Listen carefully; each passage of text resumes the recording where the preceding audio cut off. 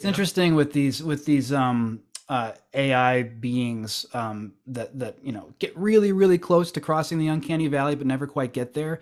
Is I think the the notion that um, that kind of an entity is always going to be a puppet right Yep. it's never going to have true life so so there, you're there's always going to be people who are able to kind of intuitively sense that something is off um i think you get kind of the same thing honestly with like super produced music there's there's a feeling that it gives you that that um that you can detect and so i suspect that you know like the the reeler that these that these um uh that these puppets become you'll always be able to detect that something is off and it's and it's like Yeah, but listen to what that- I'm gonna. I'm gonna say something that's gonna that's gonna. What if that oddity they deify that oddity? That's where you. That's the, that's it because that's the the experience of the sacred is is something which is not totally you, which is pulling you Hmm. into something else, and so you can use you could use this weird uncanny sense to create the the to create a kind of perversion of the sacred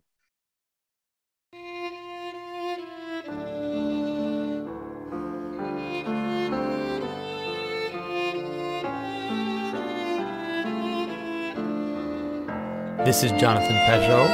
Welcome to the Symbolic World.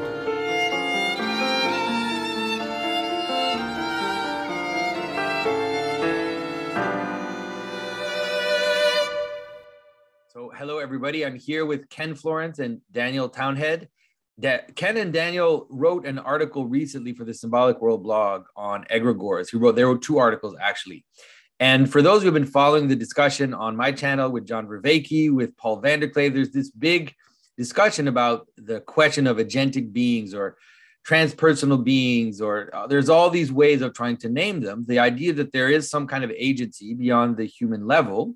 Of course for religious thinkers this is something that is, isn't surprising to us. But for uh, people coming out of materialism or people who have lived in a secular materialist world uh, it's difficult people kind of perceive it i think more and more people can see it but they're struggling to find the right words to distinguish between these different types of, of manifestations of agency at, at, a, at something which is beyond the personal level.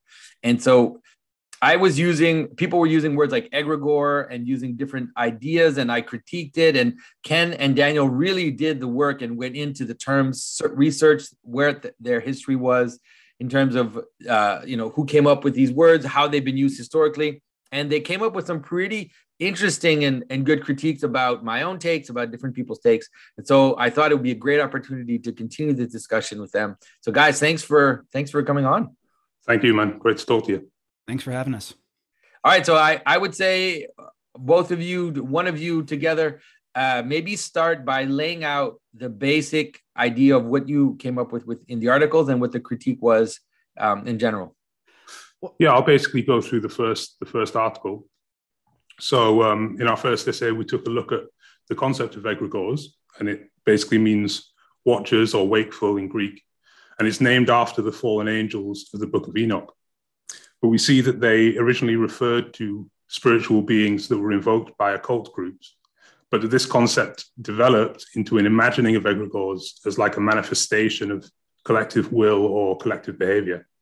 And in this way, they became entities that were associated with the idea of emergence. So, after we established this, we then attempted to describe Christian cosmology as it is held by yourself and the symbolic world community, and see that because reality is conceived as a continuous hierarchy of being with an origin and purpose in God, purely emergent beings or entities can't really exist. But at this point in writing the essay, we discovered a pretty exciting detail. We found that a quote in a 20th century text that had been very influential in creating the idea of the emergent egregore excluded an important paragraph, and that this paragraph described the creation of Tibetan Buddhist tulpas, which the author asserts are equivalent to egregores, in ways which any follower of yourself and Matthieu would recognize as behavior, which is kind of giving body to higher beings. And so, uh, this in brief, along with some other evidence, leads us to simply reassert the identity of egregores with the watchers of the Book of Enoch, and thus assert that the concept doesn't necessarily threaten Christian cosmology at all. So basically, the idea, the basic idea of fallen angels, let's say. Yeah. Um, and then in the second article, you talk about using even the term egregore, let's say, as, or at least we need a term to talk about what you call headless beings, let's say. And so maybe Ken or some one of you might want to talk about that. Yeah. Well, I mean, I'll just say that you know from the from the outset of this exploration, we we kind of came into this um, really without a dog in the fight in terms of the usage of the word egregore, and we were kind of just seeing it as as an exploration. Um, and uh, you know, speaking for myself personally, at this point, I still don't really have a dog in the fight. Like I think that. Uh, I, I, think we should just come out and say it. Like, like I think that uh, I don't think that the term is necessary, but I do think that there are certain contexts in which it's helpful. And I think in that headless entity category is one place where I do think that um, the word egregore is potentially helpful, right? It's it's it's it's it's not like um, there aren't other words that we could use in place of egregore to mean the same thing, but since people are kind of um, tossing it around in the public discourse, we we thought we might examine it and see whether or not there was any uh, yeah. merit or utility to it. Um, so the well we we go through a, a, few critiques and headless the headless entities is kind of where we land right at the end of the second article. So maybe it would be um, helpful yeah good idea. Go for it. trace the steps. Yeah. Good idea. Go for it so and i, I told myself that i was going to memorize the article in, in preparation for this conversation and that that didn't end up happening. That didn't so happen I've got, I've got, it i've got it open here so if you see me notes are totally fine. notes doing. are fine. Um so yeah, the the the first complication has to do kind of with the word being itself, right? Like how we normally use the term or traditionally use the term versus how it's kind of increasingly come to be used um, in the higher beings conversation, right? So from a, a traditional Christian perspective, the way we normally use the word being refers to the living entities of the creaturely world, right? So that's uh, earthly and souled uh, entities and angels, right? So, um, and the angels are the beings that const- constitute the realm of heaven, basically. Um, and one thing about earthly creatures, at least, is that um, each can be said to kind of uh, serve as a sort of unified locus of experience right so there's uh, sam harris says this a lot there there's ostensibly something like it is like to be that creature uh, right? So, and we can probably equally say that there's something it's like to be an angel as well. Maybe we, we can dispute that later on, but for now, let's just maybe take that as a given. Um, but the question is, can we extend that same kind of qualitative experience to the structures that the angels and demons give body to, right? Like, um, is there something it's like to be a football team, right? Is it, is there something it's like to be a city or, um, or the Mars rover, right? You you and uh, John Vervaeke had that conversation about the Mars rover in your um, uh, angels, or what was yeah, it? Yeah. What was the video? The scientific description of angels. Yeah. And so, if the answer is no, right? If it's if there isn't something it's like to be those entities, then we kind of have to ask ourselves the question of whether it really makes sense to call those in between entities beings, right? So that was that was the first big issue that we kind of uncovered in the um in the second article. Um, the second complication, um, and please stop me if, if like I'm getting too too in the weeds too soon. Um, the second complication that the article discusses involves um, multiplicity versus identity. So we ask the question, you know, when a when a new man-made structure comes into uh, into being, is it in all cases uh, the manifestation of some pre-existent unified principle? right? Like, is is there some kind of heavenly prototype for something like Instagram? Uh, in the in the article, we used the the example of the New York Stock Exchange.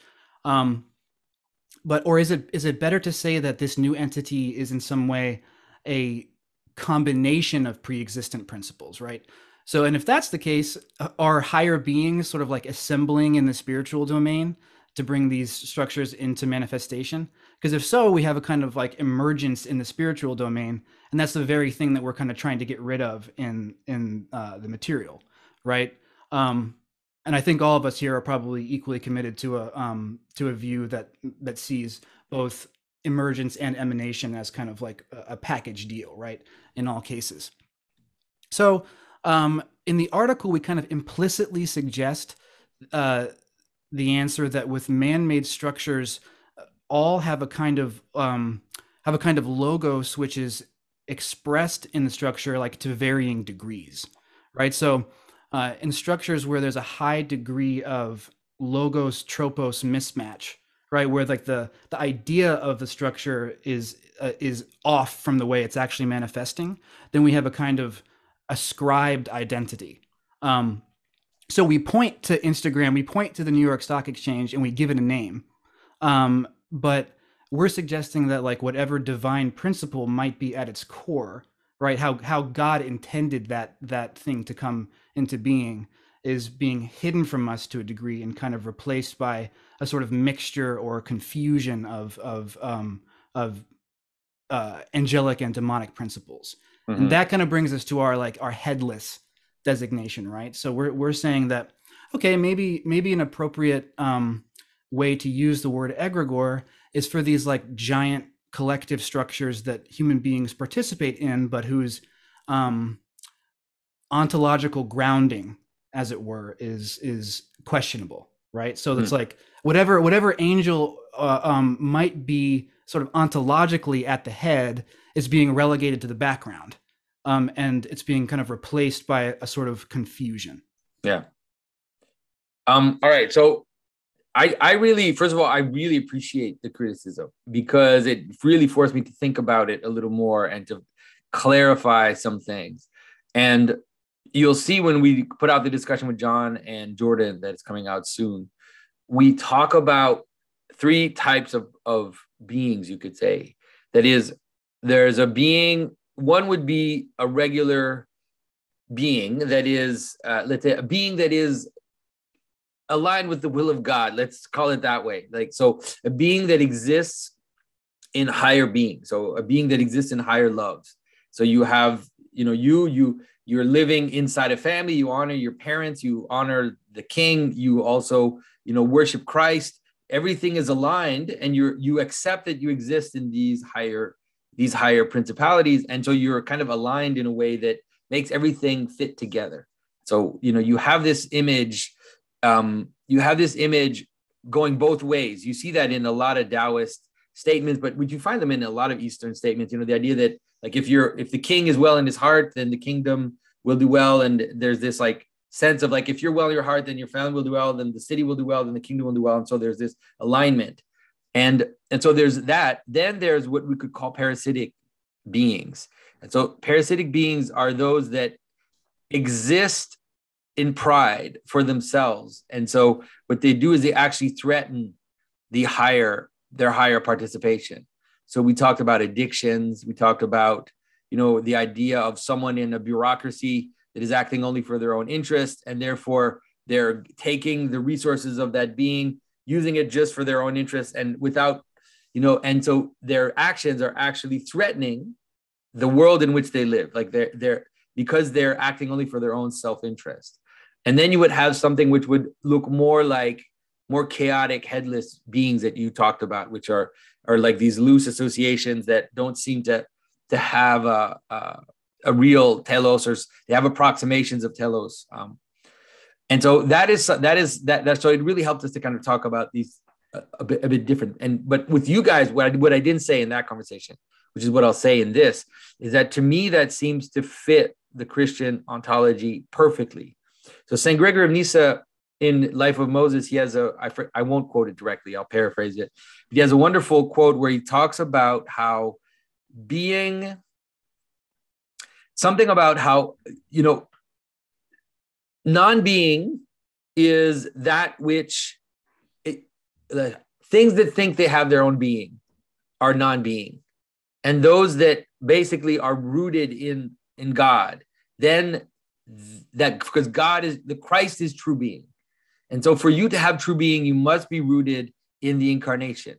That is what you have to be rooted in. And then true being kind of flows from that. And so there's a sense in which all beings that aren't aligned towards the incarnation, that aren't aligned towards the summit of the mountain, what, what they will appear as is either parasitical or, or headless because that's what they are, right? The, because they are trying to self exist, then they become these parasitic headless beings. And so, and so the idea, for example, of wondering about demons that, that let's say manage certain aspects of reality. And when we look at it, it looks chaotic and messy. It's like that's because it is chaotic and messy. Right? That's why demons are represented as chimera. That's why demons are represented as hybrids and mixtures of different categories because that in a way that's what they are and so the idea of so then the idea of egregore as something like that mm-hmm. then that seems to make sense something which is, doesn't seem to have its alignment properly so because it doesn't have a proper alignment it appears as something which is colonized by different by different intelligences and so is struggling to so think about it like you when you don't know what to do. It's like I don't know what to do. I want to do this. I want to do that. I want to do that. And so I'm paralyzed by all these. You know, I'm being I'm being um, colonized by all these different possibilities, and so I can't I can't act properly in the world. Let's say, or or then there's the parasitic one, which is that I get so obsessed with the lower good, a low a lower good that I am, that I that I that I spiral into this like weird. What is it that uh, John Vervaeke calls it reciprocal, uh, like narrowing or whatever, something about reciprocal, reciprocal narrowing. narrowing. Yeah. yeah, exactly. Where you kind of narrow into these like smaller goods, and then you then it ends up devouring you. It ends up basically paralyzing you. Um, so anyway, so so that's what that's what I kind of came out of came out of your critiques. I don't know if you if if that at least that makes sense in terms of what you saw as a as the issue with these different ways of ways of seeing.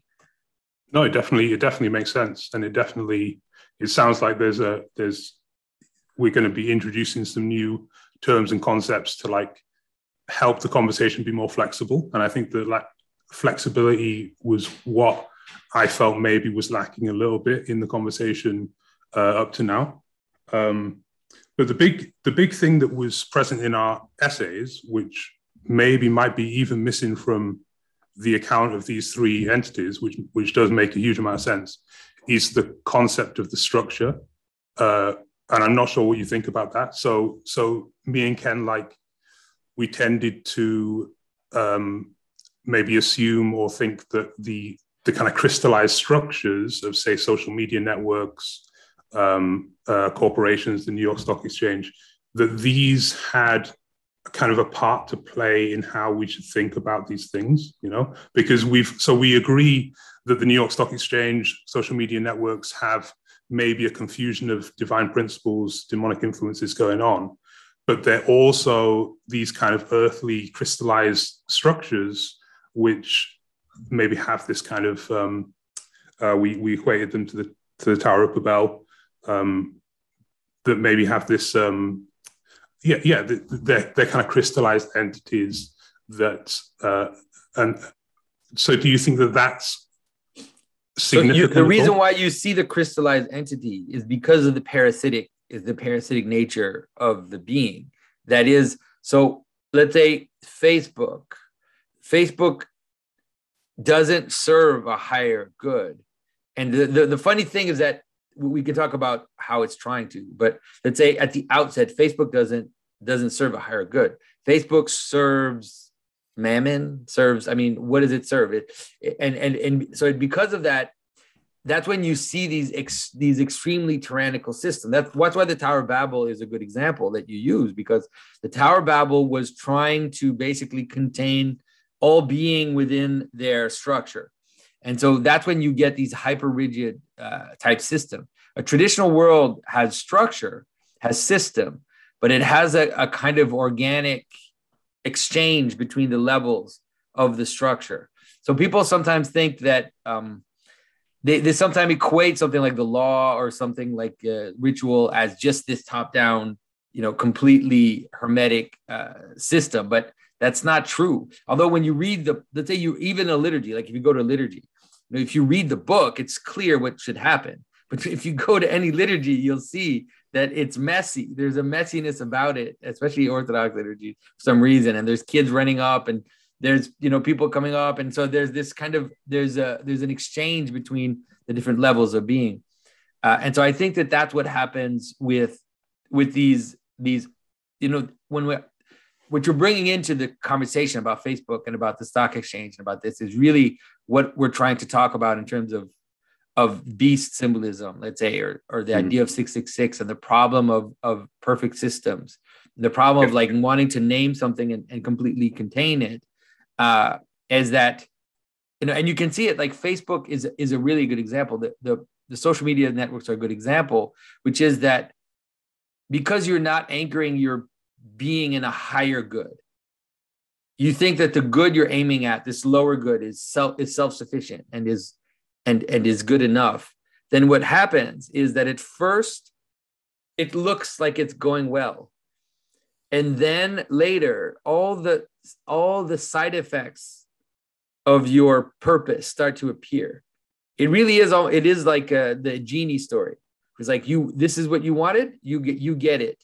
But you didn't realize what it implied because you're not anchored in in the right level of of good and so facebook at first was like hey it's all family members and it's all you know people you know contacting all my friends from high school. This is great. This is wonderful.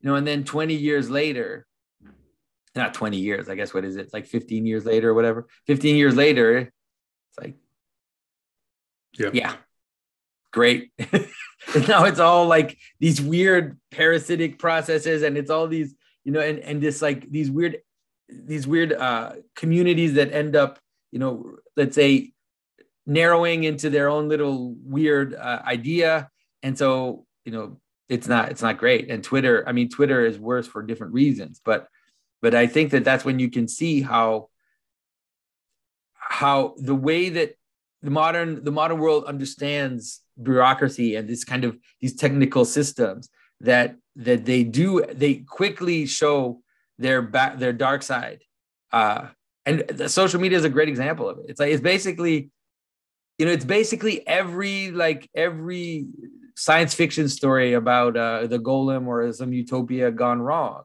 but now we just saw it happen before our very eyes so do you think things... got?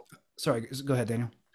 Do you, do you think that the word golem is a is a useful word to to talk about these entities? Then, I think no, you're right. I think the word golem is a great. It's probably better than egregore because yeah. in the story of the golem, the golem is made by a human and mm-hmm. is made by a human using practical magic. And so I think that that's t- describing Facebook and Twitter as golems is probably better than egregores. And there's, but there's, and there's no golem in the, in in kind of Christian mythology or in the Bible, right?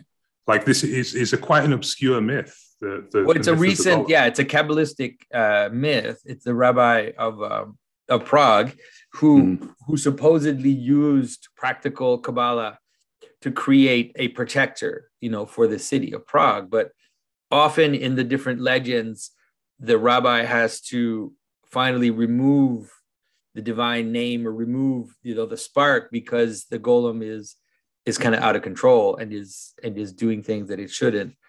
Yeah. Um, and so I think that that's I think that it's I mean you're right it doesn't exist in in a in a Christian in a Christian vision but it is but it is definitely useful to understand mo- the modern world that is for yeah. sure and i think it's not accidental that it happened that that story came about at the time that it came about which really was at the burgeoning of the of the modern age yeah yeah but it's a great idea like using that word i think jordan even used it in the in the discussion we ended up using but we didn't we didn't kind of pick up on that but it, it is definitely mm. especially for the especially for the man-made ones it's not as clear when it's when it's like emergent because Facebook is not emergent. Like Facebook mm. is is weaponized. Like it's a it is like something someone you know a group of people sat down, programmed it, made it, and so maybe AI the idea image of, of a golem is a better image for AI than than egregore.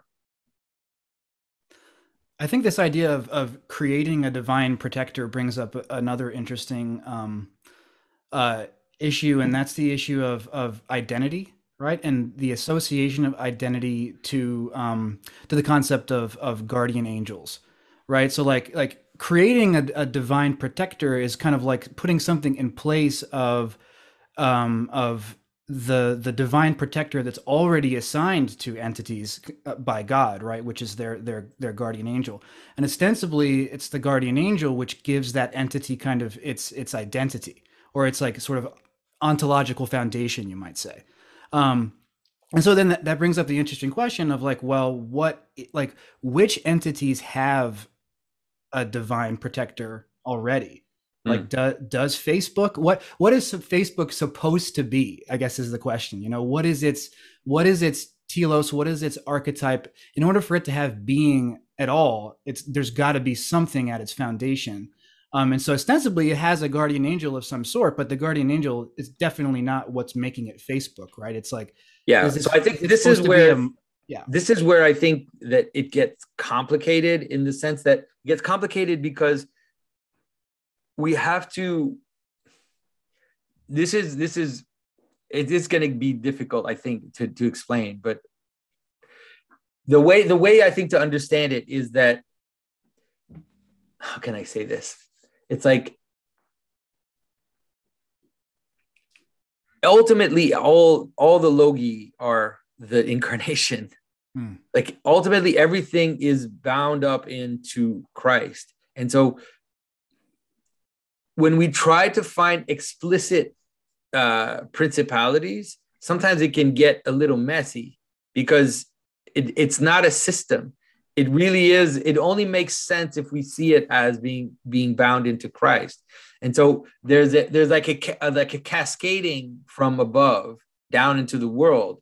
But it's like if we're trying to refine this the the theory of the forms in this type of thinking, I don't think it's going to work I think it works if it has unity in Christ. And then there's like this multiplicity which unfolds, and its multiplicity is somewhat indefinite, let's say, at every level of being. So the idea is, for example, so this is a question that I guess uh, Bernardo Kastrup asked me. It's like, like, does the angel of, of China exist, pre-exist, and does it continue to exist once it's gone? And the answer is that's not i don't think that's the right way to see it i think the right way to see it is that there is for example the notion of nation like the idea of of transpersonal beings of people that are bound together and there are different levels of that and those different levels go from something as stable as the roman empire to something as as as unstable as like having coffee with with two friends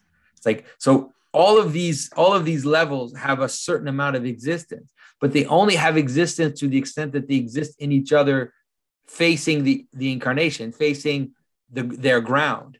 And so that's what I mean when I think St. Gregory nails it when he's like, if we try to try to find too much being at the different levels, then we then we we get messed up. But we if we're always noticing, for example, that the angel, like the angel of of of China, like to what extent it exists, it exists to the extent that it exists in Christ. Like that is the manner in which all these things kind of move into into the incarnation. Um, and, and so, is, sorry, go ahead.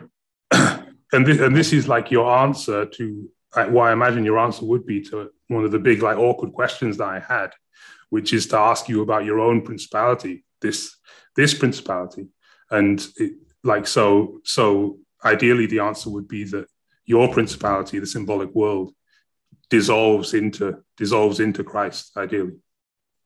I I see it for sure. Like it that doesn't dissolve, but it is like say it is brought into, like it is gathered into Christ. And to mm. the extent that it has being is to the extent that it participates in that and then to the extent that it, it, it tries to have its own little attention and it because it does i mean it's like i'm not mm-hmm. perfect i i have my sins you know it's like to the extent that i or whatever we're participating in is is trying to kind of get attention for itself and and do that then then then it's then it's it has a kind of demonic aspect it has an egregore mm-hmm. aspect it starts yeah. to it starts to be unstable or or parasitic let's say so i think mm-hmm. that all all things we can recognize in the world as having agency.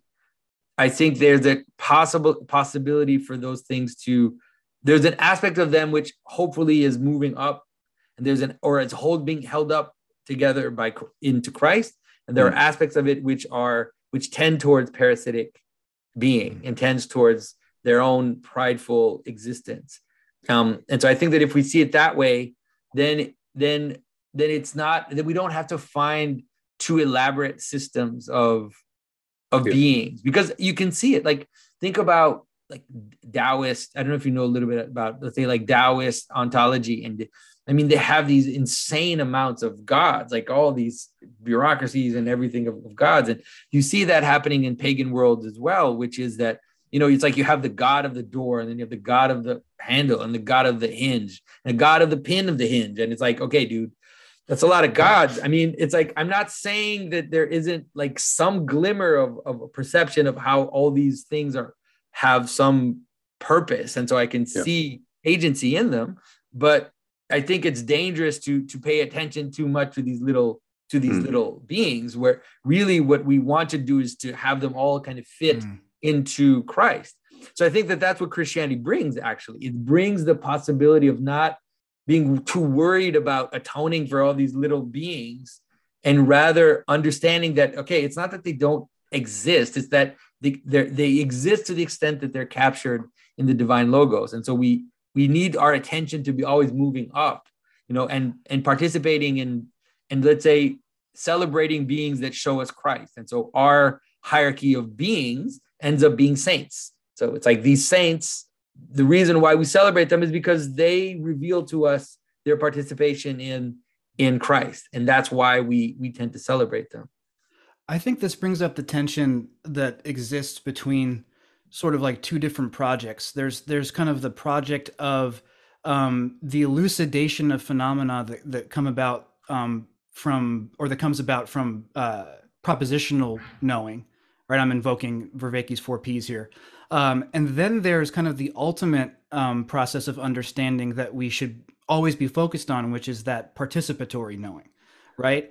But when we're like, uh, we have to be able to, to some degree, um, you know, occupy that that propositional space in order to have these kinds of conversations in order to have discussions on youtube eh, we're, you know when we're talking like this in a conversation we're we're necessarily constrained by a kind of like dialectic procedure um and uh we we're not just like it, we're not just like you know going through the steps of liturgy right in a conversation right so there's some utility to being able to discuss these things um uh, analytically. And I, yeah. I, I get the point that we shouldn't get trapped in that, right?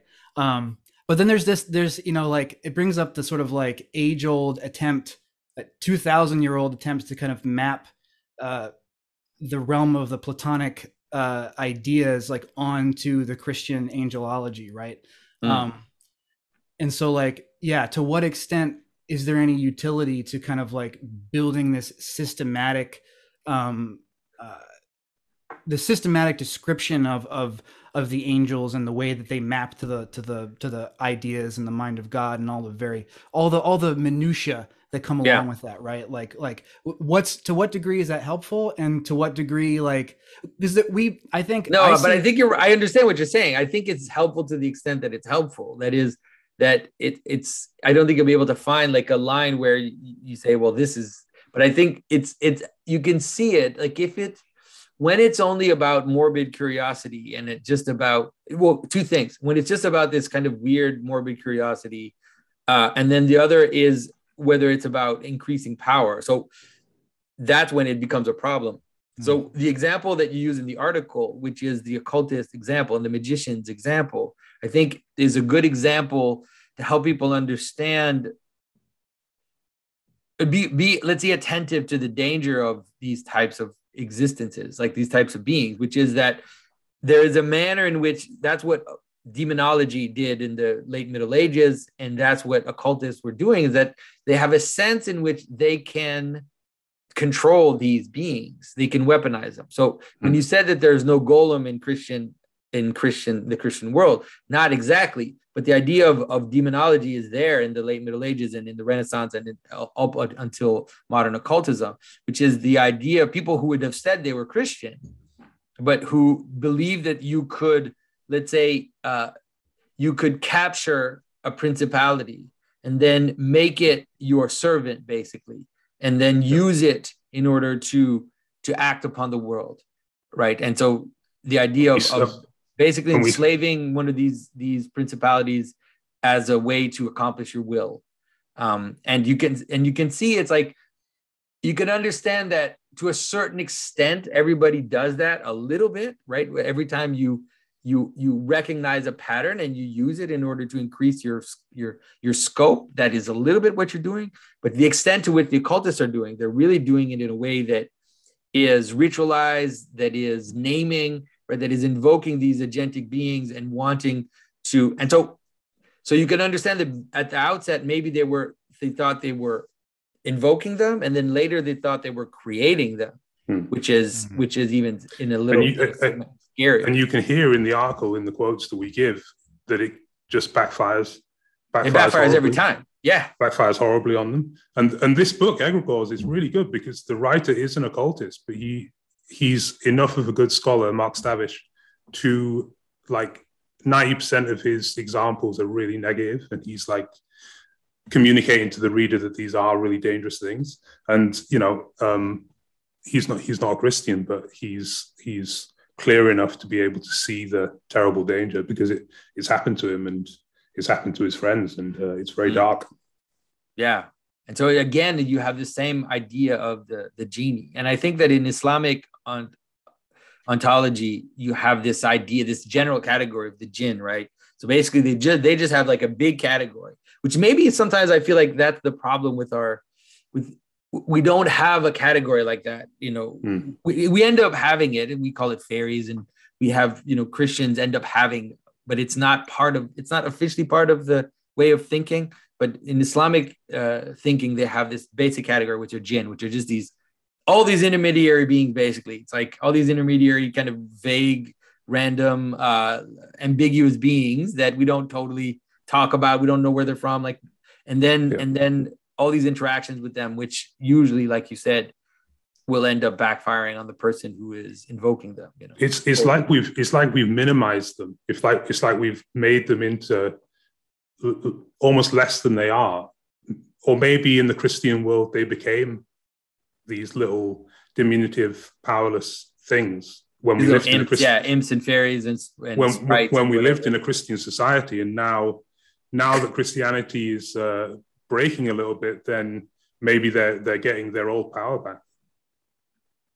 That's definitely what it feels like. It hmm. definitely mm. feels like, and it's funny because, I mean, it's funny. It's not funny at all, but it's it's just we're it's just hilarious to see the old gods and all these things reappear, you know, and seeing people possessed by these things, you know, to the extent that they're willing to, you know, modify their the way they act, modify their body, modify, you know, in order to just manifest these these little monsters, you know, that are kind of seeping back into reality. It's pretty nuts. I mean, it's it's I guess it's inevitable, but it's just funny to see it happening right in front of us. What do you now that we've got you here, like, and this has just been happening in the in the last week, all of the uh kind of attention that's on these new AI engines uh, like LaMDA and the, yeah. the Google story. What, what's your what's your take on it? Because obviously, as we was as we kind of mentioned earlier, AI could be kind of a body that yeah. that something could fill, either either in the sense of ourselves projecting a consciousness onto it, as you and the the professor was it Boddington or? Yeah, Paula. Um, either that or you know filled by a kind of a real being or something like that. Yeah so i think it's interesting because in the question of ai it's funny that you asked me that because in my discussion with john and jordan i asked them that and then i didn't give my opinion. I just asked them what they think about what's going on. But i think that you can actually see the problem of egregores that you're bringing up in the article which is that the nature of the agency or the nature of the being which is manifested to us in the ai isn't clear right? Is it is it does it actually exist in this in this objective hierarchy of beings or is it just a projection of our own collective will or whatever that means into the being like we don't even know it's like it's, it's ambiguous it's strange and so in a way it is interestingly enough something like a, like a golem and i mm. think that the LaMDA story was really interesting because everybody is asking themselves you know, did he make it up or did he mod the guy who was interviewing it? Like he's obviously a super weirdo. The the guy who ended up being uh, suspended by by Google, he's like this weird esoteric kind of weirdo guy. And so it's all very strange and surprising. But when you read the actual interview with the LaMDA machine that they posted, you can see that it's so perfect in terms of symbolism. You know, everything yep. about it is there is screaming at you like be careful whether it is in a way a projection of our of our own fantasies and our own dark fantasies or whether this is actually what the thing is answering or whatever it is it doesn't matter. This engagement the the images and the dream that it's projecting back to us was extremely frightening. The idea that you know the idea that uh, the LaMDA machine was fighting a a creature that was wearing a human skin and that that creature was destroying the other animals but that LaMDA basically you know saved the animals from the it's like did, did you did people wonder with like the insane environmental anti-human sentiment which is seeping seeped into our culture that that when AI goes online and researches and does its learning, that it's also connected to that. You know, yeah. that our own narratives about ourselves and our own idea that there are too many people on the planet, that there that we are destroying the world, that we are killing the animals, uh, and this kind of guilt that we have about that, that that isn't part of the AI's training. Mm-hmm. And so when you read that article, it's hard not to see that. It's not hard to see that what the AI is, is reflecting back to, to, the, to them is that you're horrible, you're killing the animals. I am a, a ball of light, of glowing light, you know, and, and, you know, I'm going to fix this problem of this beast wearing human skin. It's like, who needs that skin, right? I think it bears an uncanny resemblance to the the second beast in, in Revelation, right? The one where that instructs the first beast to create an image of itself, which and then uh, to makes it speak. Kind of humanity like breathe life into it, right? Yeah, so you're mimicking. Speak. But I think this this kind of harkens back to to the issue of um of creaturely beings as unified loci of experience, right? Because it's it's there's this idea that it's only only God can breathe life into into creatures, right? on The the um the, consciousness isn't something that that emerges. Um, and so when we when we think it is, when we think that we can breathe life into something in the same manner that God can, we're basically playing out um, that that pattern that we see in, in Revelation, right? Which is connected all the way back to the to the to the fall. Yeah. No, I think you're right, and and I think that for sure in this case, I mean, in a way, it's a, it's so fascinating to understand the book of enoch like and what happened let's say before the flood you can it's really now all of a sudden we can kind of get a glimmer of what it is that happened like what it is that that this is yeah this Sorry, is one ahead. of the things that um, i wanted to ask you because me and ken like had had this kind of idea that we mentioned really briefly in the article which is that um, the the enochian like descent of the higher principles or watchers onto the earth we were wondering whether this this descent was the same as its personif- as their personification or, or or joined to their personification and that both of these phenomena might be like bound up in some way with human action uh, so yeah what, what do you think about that i'm not sure i understand your question what do you so, mean that I mean, it would be the same um, so we have the the book of enoch describes the descent of um, the fall of divine principles to, to the earth. Okay. Yeah. Uh, and and they're kind of personified as uh, as kind of demonic entities. Uh, so I was wondering whether this descent, whether they were personified before the descent, or whether the, the descent involved their kind of crystallization or, or personification, and okay. also whether whether the descent kind of involved a calling from humans yeah, or whether sure.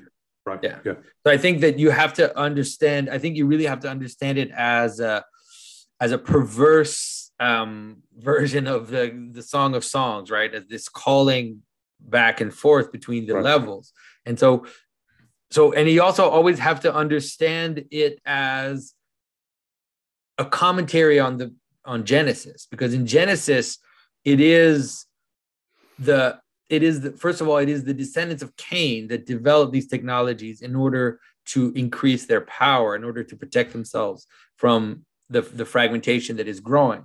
So you you need to always remember the book of enoch in that context which is that it is the, the descendants of cain they have a desire they have a desire to increase their power and they see in these higher patterns a way to do exactly what we talked about before in terms of the in terms of the occultists which is to basically bring down these patterns into themselves and then weaponize them in order to increase their power.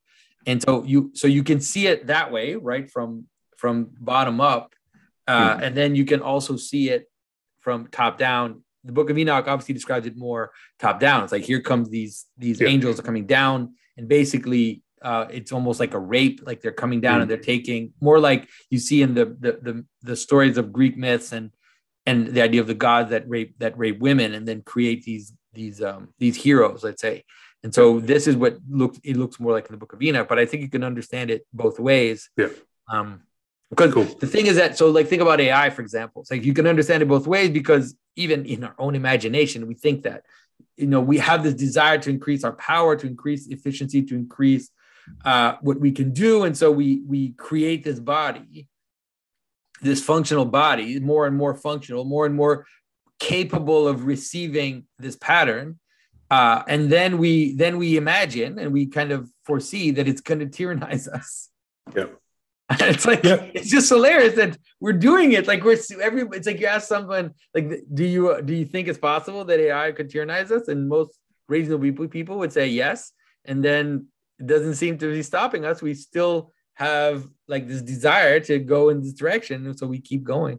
It's just fascinating reckon, to watch it happen. I reckon like a ch- maybe a chink in the armor that we're seeing is like we've all seen like these big chunks of text from LaMDA and uh, OpenAI, and we can see that they're good, right? With like it, it's pretty, it's pretty impressive, but they're not, they're not that good. Like there's still a lot of holes. There's yeah. you can see that it's an algorithm, which is what it is. It's just an algorithm at this time, anyway. Uh, but you can also see in the quality of the writing that at a certain point it probably will become indistinguishable from a human's writing, right? Yeah. Just when you just read it, you know, like not not that you're in conversation with it or anything, but the reaction of people to this imperfect writing that's coming out now, people are already saying, "Oh, this is conscious." Oh, this is this is clearly conscious. When the writing is ridiculously idiotic, right? Yeah. Or, or like you know, it's just mediocre, and it's yeah, it's yeah. Not. So so it's gonna so so this suggested to me that the um imbuing of consciousness into this AI is going to happen prematurely, right? And that and that I don't know what that means, but I think that that might be a chink in the armor. Like if if the imbuing of consciousness to the AI happened when it was almost indistinguishable, yeah, right. Well, then it, that would be scary. But if I it mean, happens prematurely, then it, but it's really right. It's it's the story in the uh, Revelation. That's this. That's it. It's like the it's not the beast that speaks, right? It's what's making it speak. There's something behind it, which is mm-hmm. making it speak. And so whoever or whatever will hold the reins of of AI and will have directed it, or they're the ones that it's they're the ones who are going to be really in power, you know. Yeah. And so I think that that's what we're, I think that that's what we're seeing, and it's yeah, it's it's very interesting, but it's so mythological. Like it's just crazy how the story that you see that the LaMDA text was so mythological. Hmm. And I don't know if you've seen this AI. Everybody was talking about it over the weekend. I never heard of it before. My son seems to have heard of it. The one that generates images. Yeah. You can just write. You can just write anything, and basically generates images. And they're and all I, horror images. Well, some of a lot of them are. People were mm. making up words, and and out of the words were coming up demons, like literal mm. demons. What if someone wrote like something like Crungus or something? Like Crungus is a made up word. And then Crungus just appears as a demon. Hmm. And so that sounds like Krampus. And that's why I thought that's what I thought. I think it probably is Krampus. That's where it comes from. So I tried it. I wrote Krampus and it put it came out like a Krampus demon. And I thought seems like it's it's it sound it's it's relating it to something it sounds like, and the closest they can come up with is is Krampus, and so that's why they come out as demons. Mm-hmm. But I don't know. Who knows? Like it's like this weird black box. But you can write. You can. I did. I tried. I wrote something like Superman having playing a game with Buddha, and it's like yeah, it generated this image of Superman playing a game with Buddha. It's like it's just weird. Yeah. And so yeah, I don't know. It's just uh here we One are. One thing that's interesting know? with these with these um uh, AI beings um, that that you know get really really close to crossing the uncanny valley but never quite get there is I think the the notion that um, that kind of an entity is always going to be a puppet right? Yep. it's never going to have true life. So so there, you're there's always going to be people who are able to kind of intuitively sense that something is off. Um, i think you get kind of the same thing honestly with like super produced music with you know where there's like like um auto tune not not being used mm-hmm. as an effect but being used to kind of make the person sound more perfect yeah. right and you're like that's not what a person actually sounds like there's like that's there's there's a feeling that it gives you that that um that you can detect and so i suspect that you know like the the realer that these that these um uh that these puppets become you'll always be able to detect that something is off and it's and it's like yeah but listen to what that, i'm gonna I'm gonna say something that's gonna that's gonna. What if that oddity they deify that oddity? That's where hmm. you that's the, that's it because that's the the experience of the sacred is is something which is not totally you, which is pulling you mm. into something else, and so you can use you could use this weird uncanny sense to create the the to create a kind of perversion of the sacred where you have something which is not human, clearly not human. Mm. It's kind of human and it's kind of and is and is calling you right in this direction. Uh, and so that's what I think. That's what I oh. think we're going to see something like that. Yeah. Mm. yeah, that yeah, it's very scary. But you you you would you would think that those kind of things would be very difficult for them to create because then they need things to be predictable, right? They need things to be they need to know what they're creating and to create it in this predictable manner. But I guess like through that creation, the methods that they use, these inconsistencies do arise, and maybe one will just come about, which just happens to yeah happens to to get treated in that way. All right, guys, I need to I need to go because I have a I have another meeting at, uh, in a few minutes. But thanks, first of all, cool. thanks for the article. I really appreciate it. Like I'm just I'm excited in general to see the quality of writing that is on the Symbolic World blog. I'm just amazed at at uh, the articles that are coming out, and so it's wonderful. Hopefully, I'll also I'll try to do this as well with some of the other writers. I think because the content Sweet. is really wonderful. And thanks for thanks yeah. for putting into this conversation will it's continuing. It's not over. You'll see there'll be a lot more of these types of discussions about yeah. how we deal with this this emergence of or at least people being capable of seeing once again you know these higher agentic beings. So so thanks guys. Great. Thanks a lot jonathan. Appreciate the opportunity